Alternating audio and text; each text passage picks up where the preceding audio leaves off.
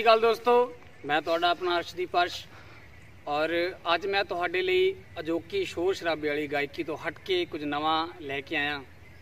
ਪੰਜਾਬ ਦਾ folk, ਜਿਹਨੂੰ ਆਪਾਂ ਕਹਿੰਦੇ ਆ ਕਿ ਅੱਜ ਦਾ ਸਾਡਾ ਜਿਹੜਾ ਵਿਰਸਾ ਹੈ ਅਸੀਂ ਭੁੱਲ ਰਹੇ ਹਾਂ ਤੇ ਮੇਰੀ ਹਮੇਸ਼ਾ ਤੋਂ ਕੋਸ਼ਿਸ਼ ਹੁੰਦੀ ਹੈ ਕਿ ਮੈਂ ਕੁਝ ਇਹੋ ਜਿਹਾ ਤੁਹਾਡੇ ਨਾਲ ਸਾਂਝਾ ਕਰਾਂ ਕਿ ਜਿਹੜਾ ਅਜੋਕੀ ਗਾਇਕੀ ਤੋਂ ਹਟ ਕੇ ਹੋਵੇ।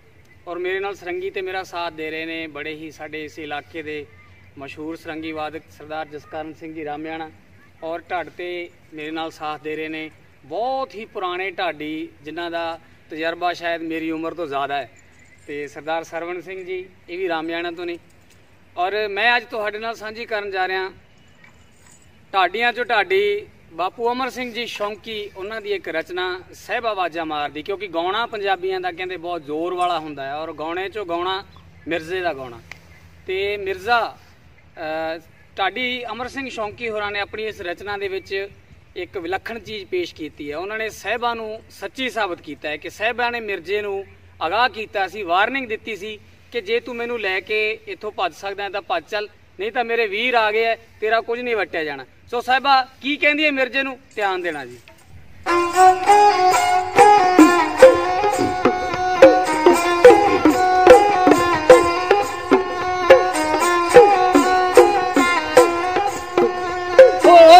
ਸਾਹਿਬਾ ਵਾਜਾਂ ਮਾਰਦੀ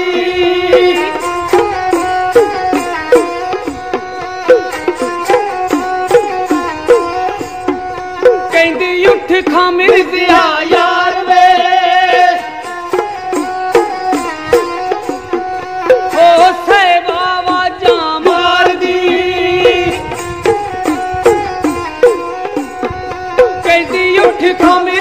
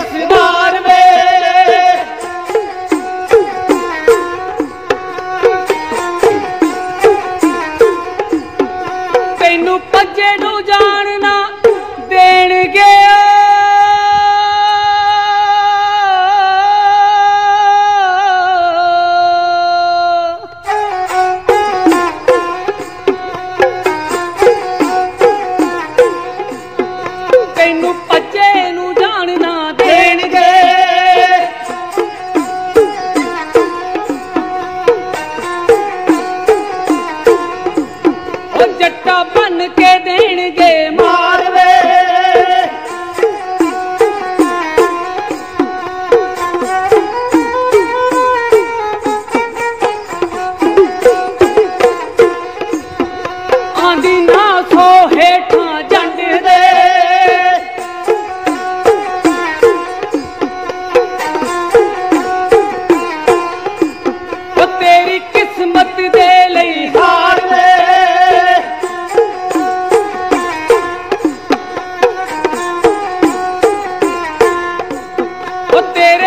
ਕੇ ਟੁਕੜੇ ਕਰਨਗੇ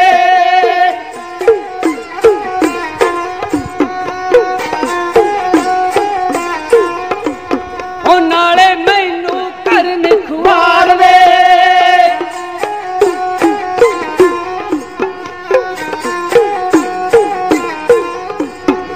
ਉੱਠ ਚੱਲ ਦੋਸਤਾ ਚੱਲੀਏ।